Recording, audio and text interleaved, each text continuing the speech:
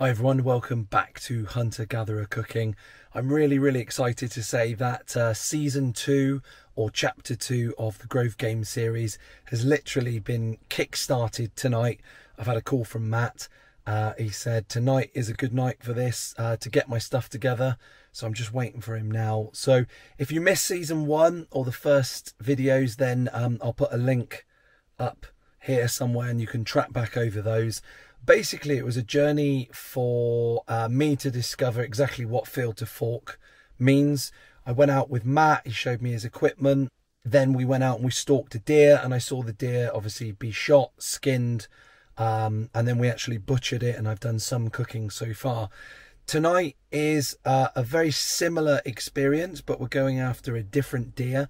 Matt will explain that in the next video. Unfortunately, I am losing my voice a little bit um, it's not COVID.